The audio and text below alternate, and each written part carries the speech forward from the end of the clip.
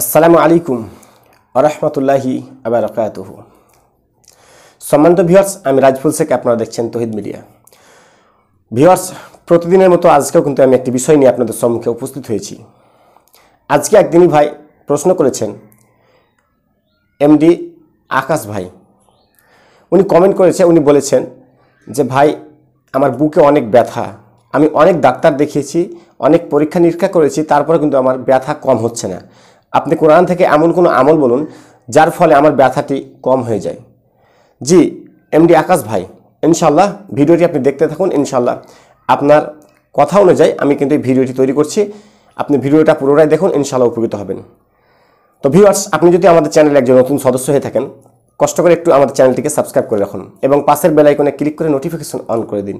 কারণ প্রতিদিনই আমরা এ ধরনের একটি করে ভিডিও নিয়ে উপস্থিত হয়ে থাকি। তো ভিউয়ার্স আর বেশি কথা না বাড়িয়ে চলুন ফিরে আসি একটি ইন্ট্রোর পর وننزل من القرآن ما هو شفاء ورحمة للمؤمنين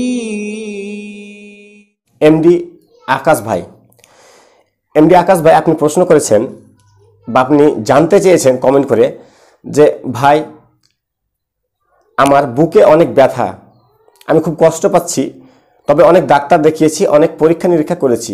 তারপর আমার বুকের ব্যথা কিন্তু কোনো মতেই কম হচ্ছে না। আমি কি করি বা কি করতে পারি আমি কিছু বুঝে উঠতে পারছি না। তবে আপনি কোনো আমল বলুন, যাতে করে আমার এই ব্যথাটি কম হয়ে যায়। এমডি আকাশ ভাই ইনশাল্লাহ আমি সেই আমলটি বলব। আপনি যদি আমার বলা অনুযায়ী কাজগুলো করেন ইনশাল্লাহ আপনার ব্যথা কমে যাবে।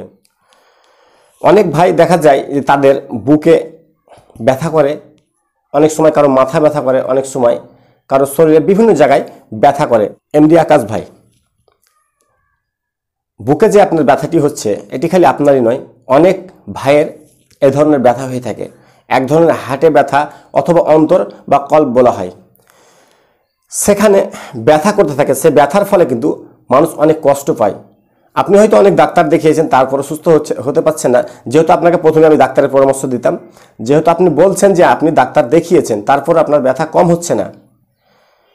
আমি কোরআন থেকে কিছু আমল বলব, আপনি আমার বলা অনুযায়ী কিন্তু আমলটি করবেন ইনশাল্লাহ আপনার যে ব্যথা, সেটি সহজেই কিন্তু কম হয়ে যাবে ইনশাল্লাহ তাতে সেটি হোক বুকের ব্যথা অথবা কোনো মাথার ব্যথা অথবা শরীরের যে কোনো জায়গায় জায়গার ব্যথা হোক না কেন সহজে কিন্তু সেই ব্যথাটি নষ্ট হয়ে যাবে। তো সম্মানিত এমডি আকাশ ভাই সুরা রদ, আয়াত নাম্বার আঠাশ। মনে রাখবেন, সুরা রদ, আয়াত নাম্বার আঠাশ যে আয়াতটি রয়েছে, সেই আয়াতটি আপনি এসার নামাজের পর, এসার নামাজ পড়লেন, পড়ার পর বাড়ি চলে আসবেন। বাড়িতে আসার পর বসে দুই রেখাত সুন্নত নামাজ আদায় করবেন। দুই রেখাত সুন্নত নামাজ আদায় করার পর সুরা রদ, আয়াত নাম্বার আঠাশ সে আয়াতটিকে আপনি একচল্লিশ বার পাঠ করবেন। তার আগে বলি যে আপনি কিছু কালো জিরা বাজার থেকে কিনে নেবেন। কালো জিরা কিছু বাজার থেকে কিনে নেবেন, মোটামুটি একশো গ্রাম মতো কিনে নেবেন। কালো জিরাটাকে ভালোভাবে ধুয়ে নেবেন, কারণ তাতে বিভিন্ন রং বা বিভিন্ন কিছু মিশানো থাকে।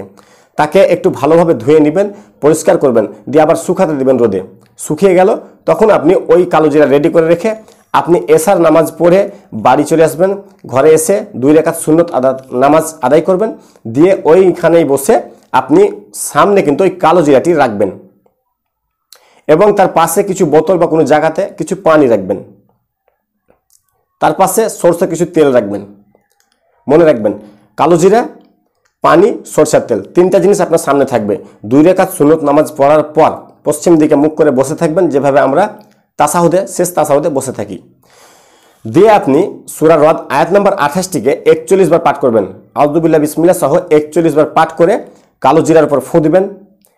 এবং ওই তেল, পানি তিন জায়গাতে ফু দিবেন একচল্লিশ বার। হয়ে গেল।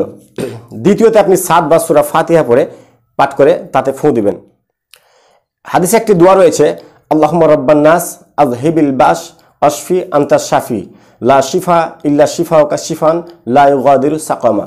এই দোয়াটি সাতবার পরে ফু দিবেন।